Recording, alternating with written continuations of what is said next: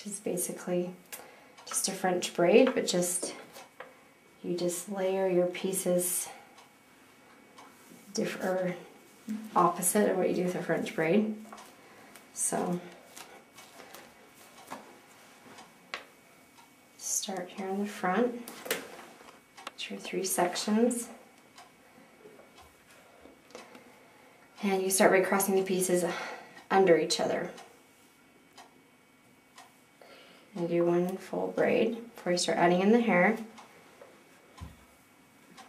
It's the same way you do with the French braid. I try and you notice I'm holding my hands differently than I do with a French braid. Rather than this way, I'm holding them this way. Which is why I think that this braid tends to be a little bit easier. For me anyway. Going backwards. I'll rip it out for you. Just add it into the section underneath. And twist your hair again. Add your piece in.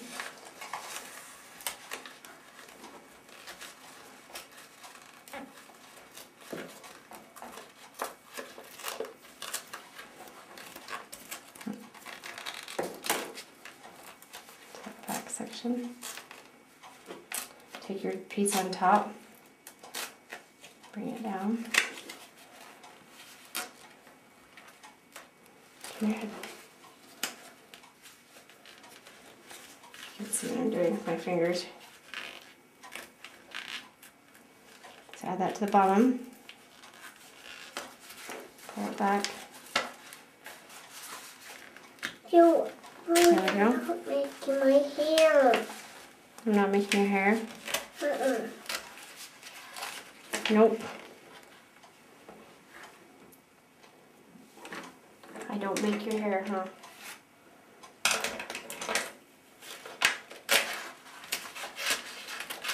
It's, do whatever's easier for you, whether you think it's easier to do your hair, the hair wet or dry. Here's your picture. Thank you. Will you hold that for me? Give it to mom. Um, And I'll flip this back so you can see what it looks like. Okay. And you see how it starts sticking out. You get a face. I mean, the, the end face. Thank you. No, Dad. Oh, okay. I mean, not. Again, you're gonna try and make all these little bumps smooth, but You're it doesn't have to be crying, Dad. Perfect. You are crying.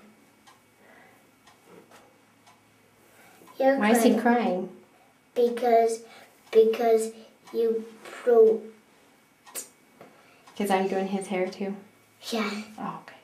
that's why he was Okay. crying. Okay, Okay. and he didn't want you to, but you really did. Okay. But And that's that's inside out French braid. Put your head up. Don't do it anymore.